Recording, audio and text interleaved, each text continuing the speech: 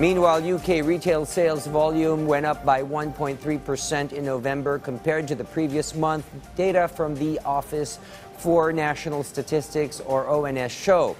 Retail sales also spiked 0.1% higher than November. Furthermore, excluding automotive fuel, sales volume rose 1.3%, is actually 0.3% higher than the figure in November 2022.